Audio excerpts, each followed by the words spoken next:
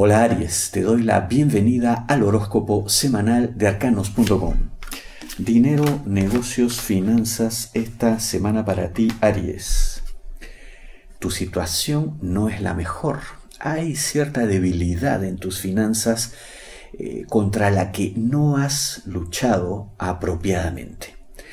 Estás a tiempo aún y cuentas con la buena voluntad de las personas a las que de pronto les adeudas dinero, que en fin, en su momento confiaron en ti, eh, la confianza seguirá, porque parece que, bueno, caes bien, eres buena persona, eso se aprecia y como tal reaccionarán. Por supuesto, no podrás fallar, no es opción el seguir bebiendo.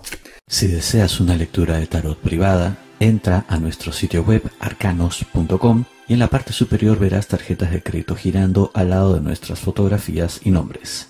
Es donde debes ingresar. Trabajo dependiente profesión. Esta semana para ti, Aries. Aumenta la actividad. Eh, incluso hay alguien que parece que se va a acercar a ti en el trabajo con una propuesta interesante. Algo que se ha estado tratando desde hace tiempo, pero que bueno, no fue enfrente tuyo, recién te enteras, pero se pensó en ti desde un primer momento. Eso dice mucho de el valor que tienes, de cuán importante eres para la organización y cuán eficiente es tu trabajo y los buenos resultados que ofreces. Que eso se mantenga. Búscanos en Google. Horóscopo Solteros. Arcanos.com en primer lugar a nivel mundial. Horóscopo para solteros en arcanos.com. Todos los días. Amor esta semana para la mujer del signo zodiacal Aries.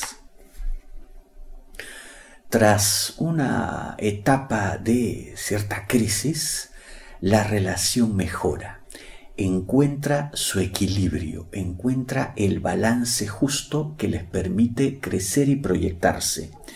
Una cosa muy interesante es que algo que quizá les faltó aprender es hacer amigos.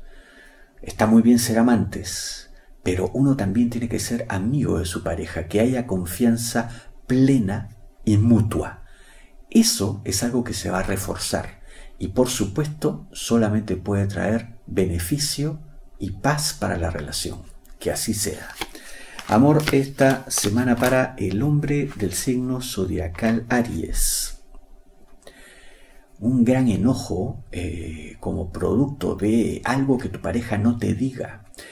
No podría calificarse esto directamente como una mentira, sino como ciertas verdades que no fueron divulgadas apropiadamente. Bueno, depende pues del cristal con el cual se mire.